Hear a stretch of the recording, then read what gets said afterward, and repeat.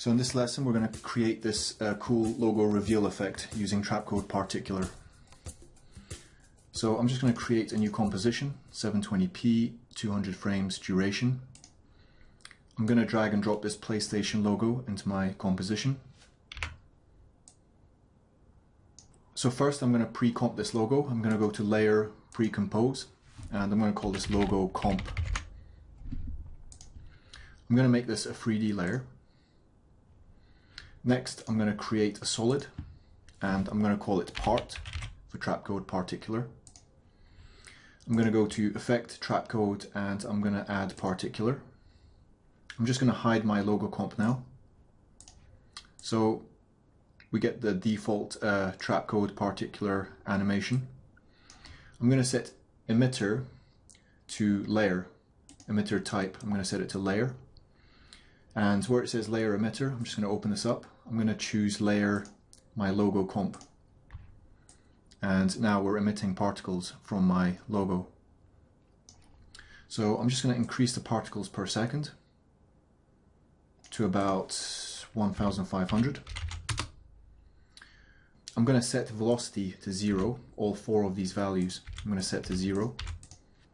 And where it says emission extras, I'm going to set pre-run to 100 so basically when the animation starts, the logo is already formed. Next, I'm going to come to about uh, frame 120, maybe frame 150. I'm going to go to physics. I'm going to open up the air tab. I'm going to open up turbulence field. And where it says effect position, um, I'm going to increase this like so. I'm going to place a keyframe and then around frame 20 I'm going to set effect position to zero.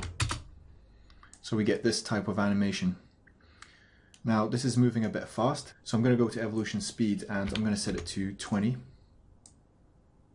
that's a lot nicer. Um, next I'm going to go to particle.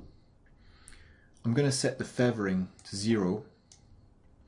And I'm going to animate the size from 5 to about 1 at the beginning.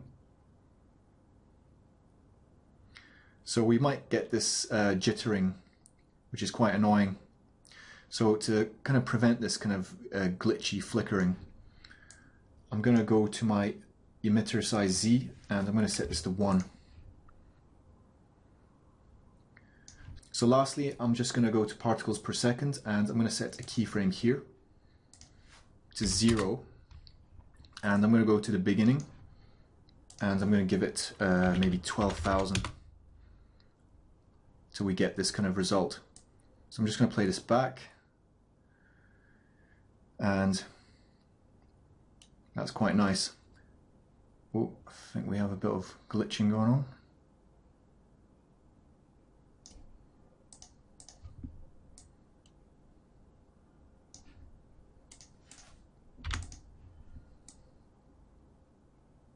Just going to set emitter size Z to zero.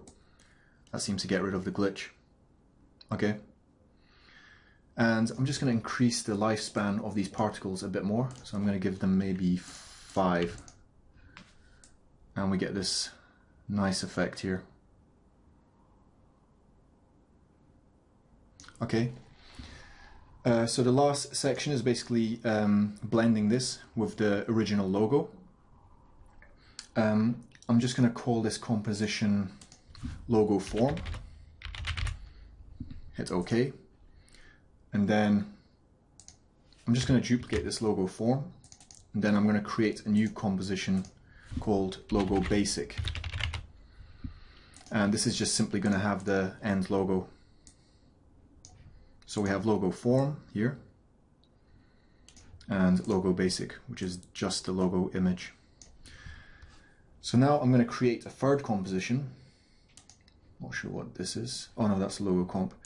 Uh, I'm just going to drag and drop logo basic into my um, composition icon. And I'm just going to name this final comp. So this is where we're going to do all our kind of editing.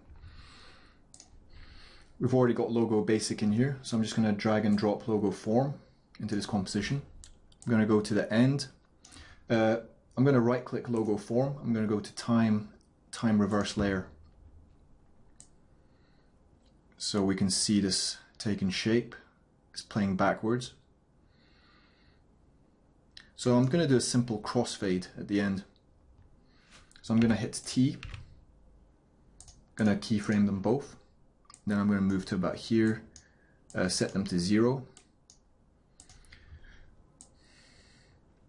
So logo basic, I'm just going to flip these uh, keyframes around. And this is actually pretty good.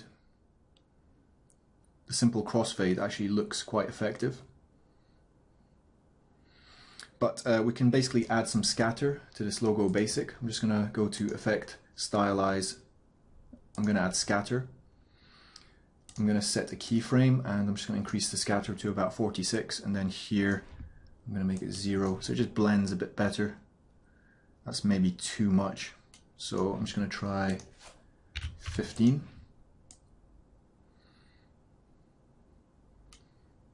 So that looks not bad. And lastly, we can add a linear wipe. So I'm just going to go to my effects and presets panel. I'm going to type linear and I'm going to drag and drop the linear wipe onto logo basic. I'm going to come to the middle here where the transition's happening. And you can see this effect. Uh, it's just a simple wipe. So I'm just going to set the wipe angle to zero. And we want it to end with zero. So I'm just going to come to the end, insert a keyframe for 0%, and then come here and give it a 100%. And I want this transition to happen a bit sooner, so I'm just going to hit U, and then these linear wipe keyframes I'm going to bring forward a bit. And I'm just going to add some feathering.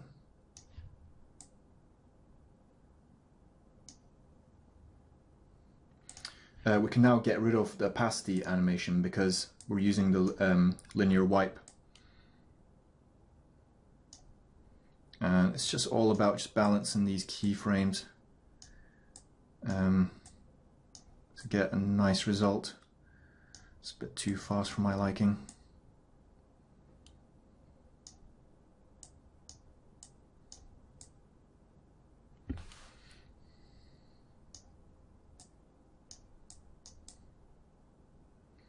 maybe something like that. So we're just kind of adjust to taste. So that's the end of this tutorial. If you found it useful, please share this, and thanks for watching.